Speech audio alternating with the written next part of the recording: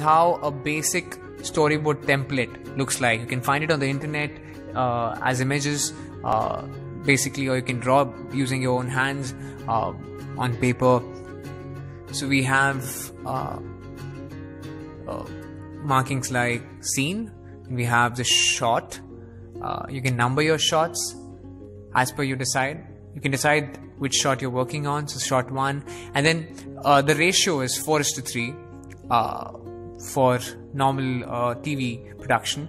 For uh, you know a film, also you can think about using a 16 to 9 ratio, which gives you a much more dynamic uh, and scale uh, vision for your boards, uh, depending upon what format you're working on. For more information on uh, format and ratios, kindly look into the video which is on Dsource website.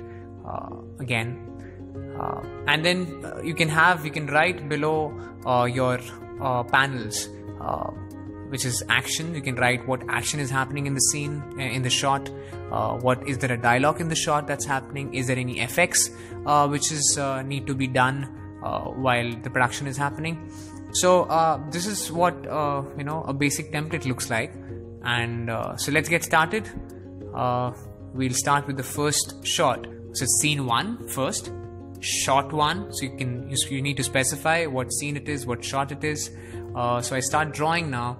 Again one very important information before you start drawing uh, you need not be really great at drawings. You need to communicate with your team and the producer. It just needs to give a rough idea of how your you know your shots are going to be. So uh, so basically the scene is where this boss is shouting madly at sandy. And sandy uh, is our uh, main character who's going through this, you know, uh, weird daydreams about, uh, you know, mobile phone being chased by mobile phone and he's stuck in this mobile world. So this boss, I'm just quickly draw this boss being very angry. So the action is the boss screaming at Sandy.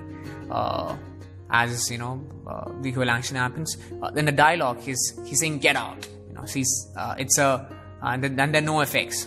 So but now it's a very static shot but i want to i need some dynamism. So what i do is uh, let me zoom out from the shot. So this is the red marking. You can actually mark using a red pencil or a red pen uh, of uh, you know you can denote uh, it uh, your shot by you know drawing a rectangle with these arrows out so that it reflects you know there's a camera zoom out as this action is happening. So so you can write it down uh, below you can write it below uh, the the panel camera zooms out and these arrow shows that there's it's zooming out. I'll move on to the next shot where uh, the boss points out towards his left uh, and he's screaming like get out of here you know? And suddenly there's some huge black thing that appears from the right. So uh, i quickly draw my boss and I'm just drawing roughly this black thing which is coming and actually a snake. I'll reveal what happens in the next shot. So, uh, action happening, boss points out towards left, he says, Get out! And the snake enters. So, these are basic information which I'm putting out here. So, uh, there's a dialogue, he says, Out! And then FX is a motion blur on snake, which I just, you know, using motion blur in Photoshop. Uh, I can, you know, draw it.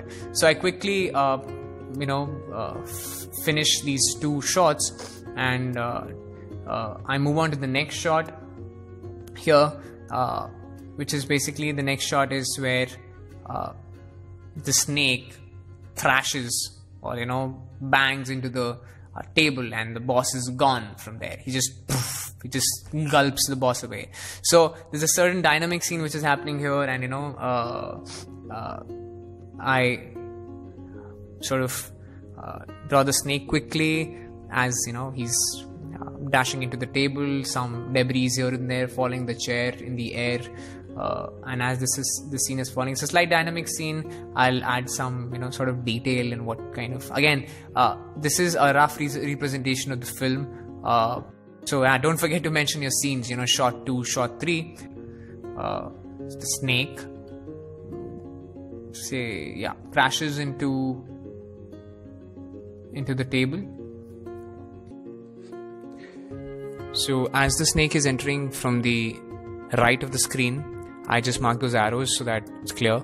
In effects, uh, we have debris, crash pieces, and some some smoke.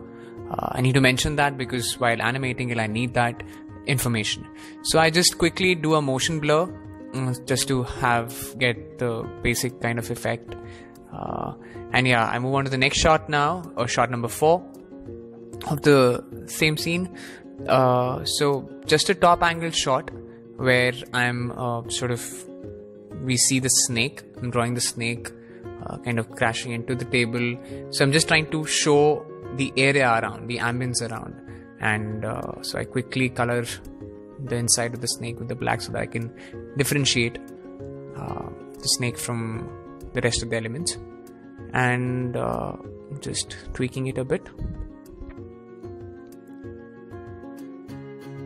Quickly add a motion blur. Don't forget to write the small, small information like the first shot uh, is supposed to be uh, a close-up shot, where uh, you know, second is the mid close as per the information, and I mention as your top angle. So write those information because it's needed. Uh, so in the action which is happening, Snake moves around the space, planning the next attack, which is supposed to be Sandy. There's no dialogue yet. Uh, information like effects, debris, motion blur, some amount of smoke, which will be there in the scene. Let's move on to the next.